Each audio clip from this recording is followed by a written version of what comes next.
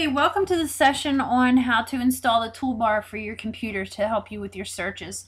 Now, what you're going to do is you're going to log in to huntingforcashback.com. It'll look like that when you get there. You're going to log in with your username and password. And then what you're going to go up to is Dubli Tools. You're going to go to Toolbar and you're going to download it to either one. I'm going to just do Chrome just to show you how easy it is. You're going to add, it's going to take a little longer than mine because it's already in mine. And on mine right there it'll show up like looking like that. And you're going to go to more tools, extensions, and then just click enable and allow an incognito. That will be a website that you would go to up here to check something out and it would pop it up. So it doesn't recognize any cache cookies in memory basically. So that's all you need to do. And then once you do that and you go to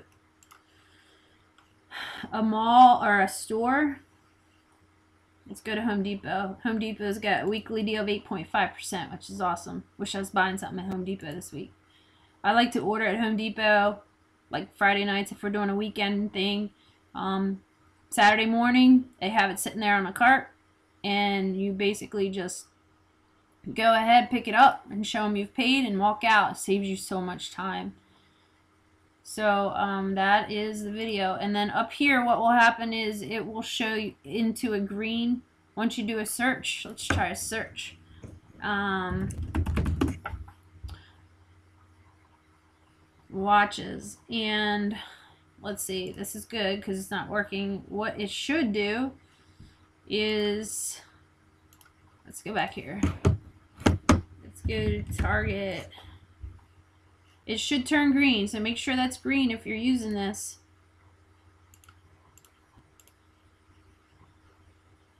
It should say activate cash back. Could be Home Depot's website. All right, right there it is. So it could be Home Depot is not activating. So if there's what you want to see is a green plus because that means your cash cash back is active. So make sure that's green. Now, if that happens to a site, what I would do is just go back and relog in. Just make sure it's there. So that's all we have for that.